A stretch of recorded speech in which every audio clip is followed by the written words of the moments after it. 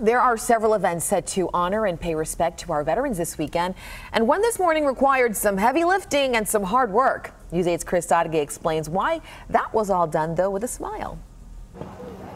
On Veterans Day, we hear so much about helping our veterans, giving back to those who served our country. Well, 50 Home Depot employees behind me did exactly that the best way they know how, with some home improvement and good old-fashioned elbow grease. It's hard to ask for help. Uh, it's not very easy to um, accept that you need help. And that's the story for a lot of veterans trying to find their way as civilians. Michael Davis is disabled and his South Dallas home needed a lot of work he just couldn't put in. But on the 242nd birthday of the Marine Corps, this Marine got a gift. At Home Depot, we employ many veterans. So, you know, not only do we do things like this to celebrate people in the community, but in our stores, uh, we celebrate veterans as well.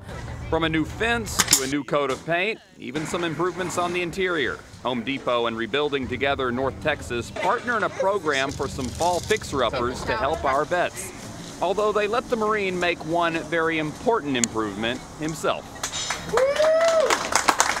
It's, uh, it's humbling and it's honoring and it's just a beautiful thing to see uh, this much support. And they were planning on working on this home well into the afternoon, but because so many people showed up to help, they're expected to be done hours early. We're in South Dallas, Chris Sadeghi, News 8 Midday.